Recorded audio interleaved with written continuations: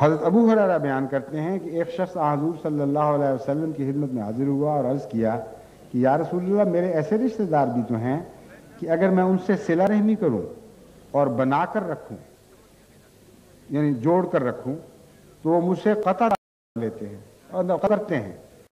अगर हुसन सलूक करूँ तो बदसलूकी से पेश आते हैं।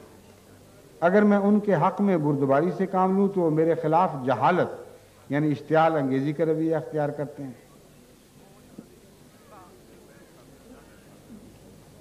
तो हज़रत वसल्लम ने फरमाया,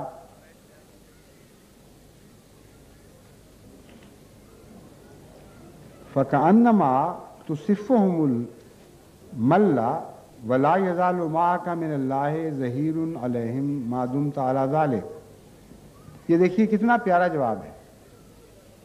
ये नहीं फरमाया कि उनसे नेकियाँ करना छोड़ दो।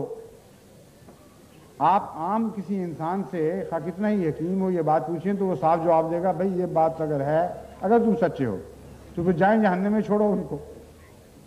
जब नेकी करते हो, बदी पाते हो। जब हुसन सलूक करते हो, बद अखलाकी देखते हो।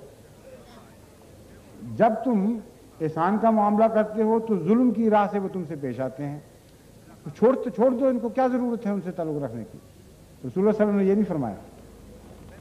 फरमाया, जब तक तुम इस हाल पर कायम रहोगे, यानी बदी के बावजूद नेकी करते चले जाओ, जुल्म के बावजूद एहसान करते चले जाओगे तो तुम उनके मुँह में मिट्टी डाल रहे हो गए वो खुद रुसवा हो रहे हैं।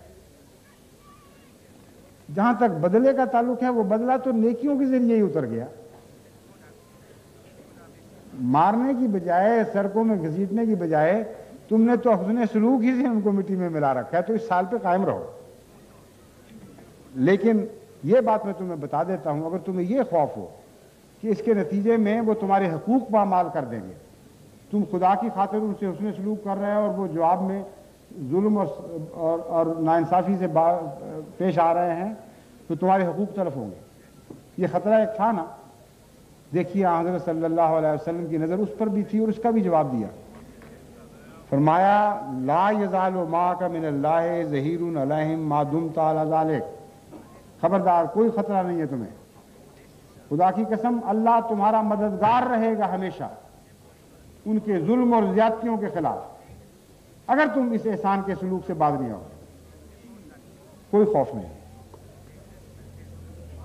कैसी कामिल तालीम, कैसी प्यारी तालीम, और कैसा कामिल रसूल, कैसा, कैसी प्यारी तालीम देने वाला रसूल है। इतना बारीक बीन मौलम दुनिया में कभी पैदा नहीं हुआ, ना कभी पैदा हो सकता।